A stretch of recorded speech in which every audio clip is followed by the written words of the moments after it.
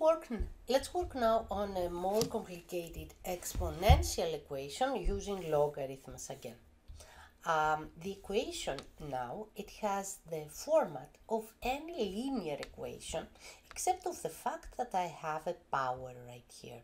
Meaning I have constants, I have sides, uh, from both sides of the equation I have more than one term. So the, the equation can become quite confusing and quite, uh, quite complicated. Like for example, you may have something like this, uh, to um, e to the 2x minus 1 equals to 20 and you may have right here plus 15.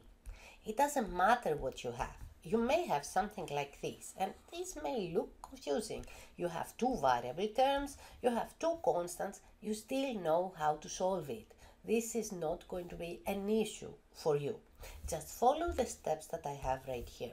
So I'm gonna erase this confusing equation for the moment uh, so we can focus on something simpler. Uh, but the steps that you follow are going to be the same.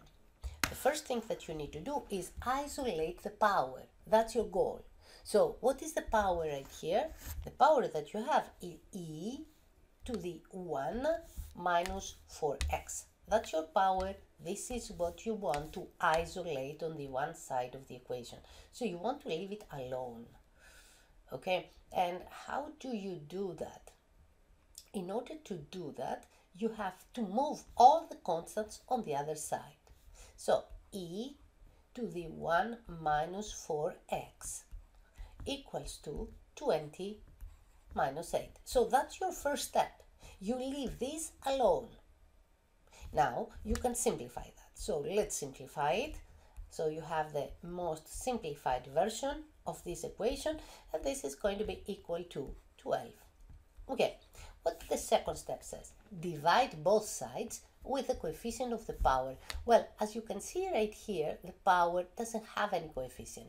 It is multiplied by 1. So uh, you can skip the step 2 in this case. You, you don't have any coefficient.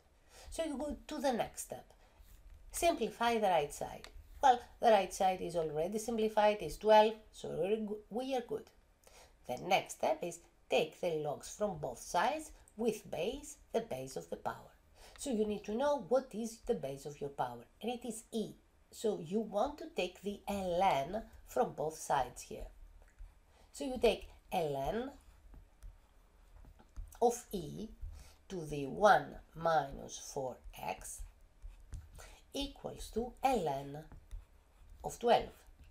Okay? Why? Because if e to the 1 minus 4x is equal to 12, then the logarithm of e to the 1 minus 4x will be equal to the logarithm of 12. Okay, good. And why did we do that?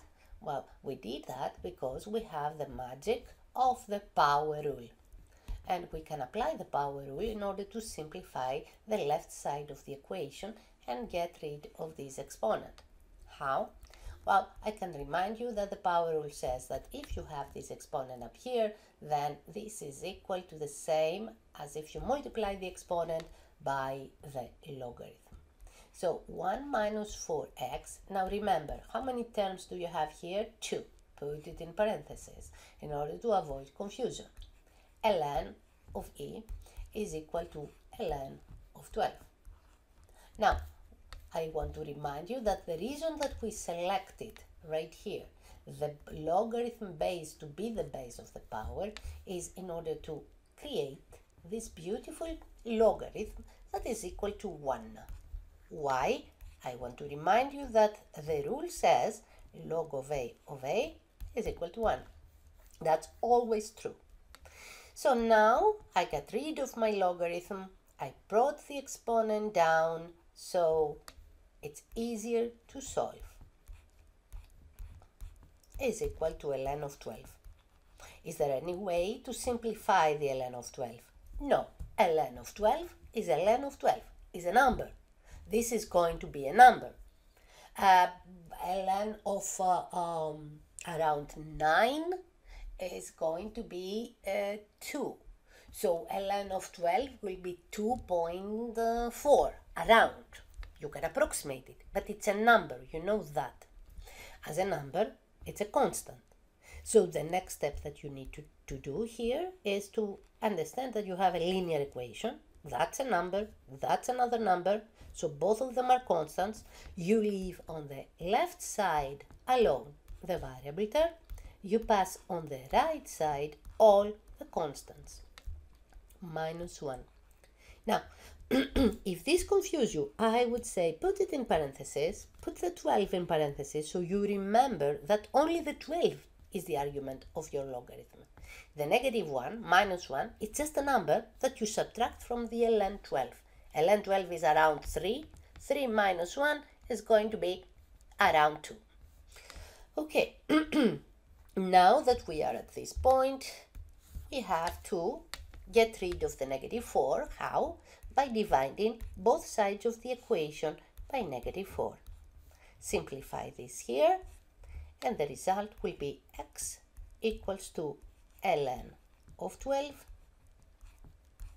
minus 1 divided by negative 4. And that's the final answer.